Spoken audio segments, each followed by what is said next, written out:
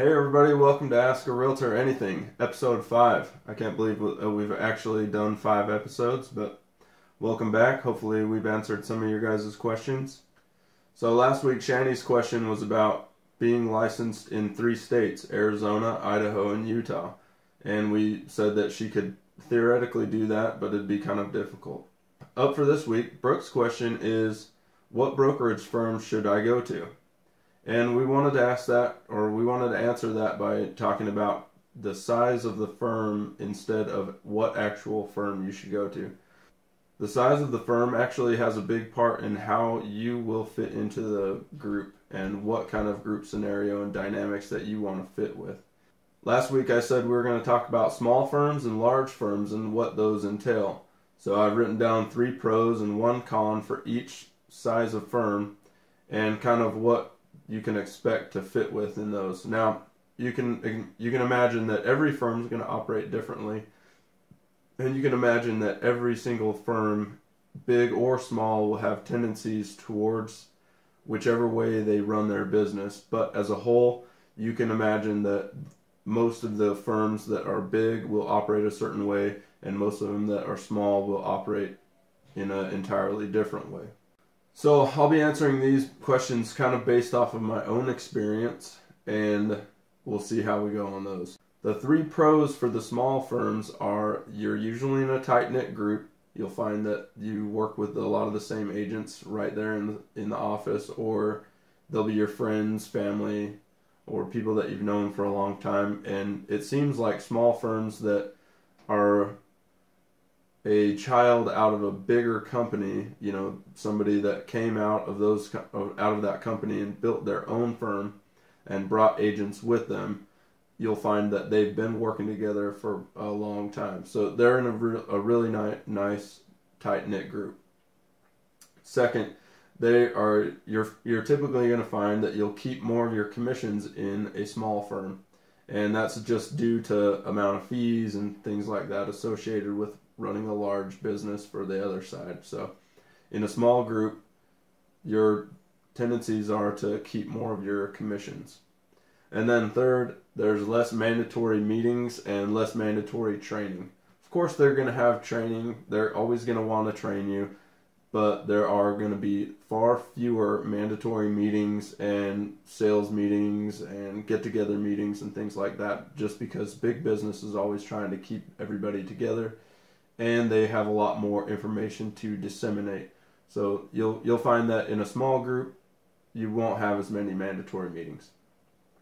The one con though, uh, the one con that I wrote down for a small firm is that you don't have a big business name running behind your business. So starting out into real estate, sometimes it's easier to join a big firm that already has a name out there. Let's say Coldwell Banker, Century 21, Keller Williams, any of these big firms, they've already built a system. They have a name brand that you can get behind, and typically they have things already started for you.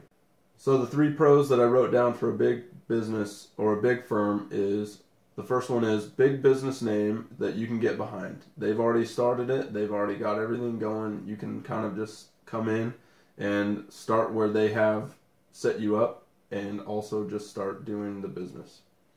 Number two is you'll have a lot of agents that are actually working there, actually working the business. You'll have plenty of full time agents. You'll have a few part time, but typically in a big business scenario like that, they have a lot of top producing agents.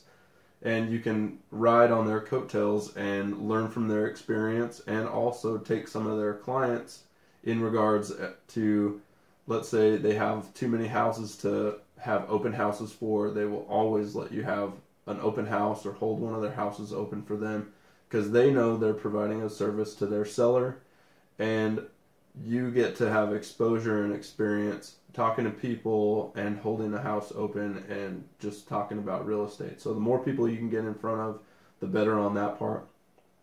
And number 3 is paid advertising.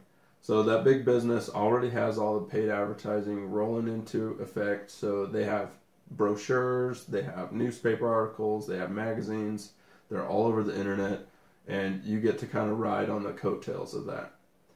Now, the one con, I say that caveat to all of the pros that I had just said. The one con is you're typically going to keep less of your commissions and you're going to have to pay office fees. That's just part of how they do their business. Okay. Uh, I was in a big firm when I first started real estate in North Carolina, and there was office dues. You had to pay for copy machine paper and printing ink and all sorts of stuff that just kind of came out at the end of the month. And if you're a fresh starting agent and not selling or closing any houses that month, then you kind of paid the fees and it was just like you were spinning your wheels. Now, I'm not saying that in a small firm you won't have any of that. It's just that in a big firm, they always have mandatory fees and mandatory franchise fees and cuts that kind of cut into all of your commissions. So you have to kind of take that with a grain of salt. If you want all of those items, big business, agents working around you, you know, then you have to typically pay for it, and that's how it works. So in a small firm, you won't have as many of, of those fees you'll keep more of your commissions. But if you are not good about getting your own clientele, then you won't succeed there either. Well, you if you're not getting your own clientele at either location, you're not going to succeed either. So that's part of it too. So up for next week, Dan's asked a question, and his question is, "I'm pre-approved. How do I buy that house?" So the question seems kind of simple, but it's got a lot of twists and turns, and we'll answer that next week. So once again, thanks for everybody coming in. Thanks for watching Ask a Realtor Anything. Thank you for your questions. Thank you for your views. And hopefully you guys click like in the bottom and subscribe so we can get more people and more questions. So thanks again. We'll see you next week.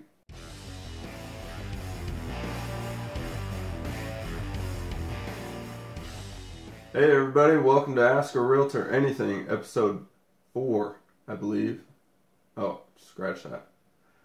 Each type. What? What are you making? Y'all have one? That'll be on the bloopers.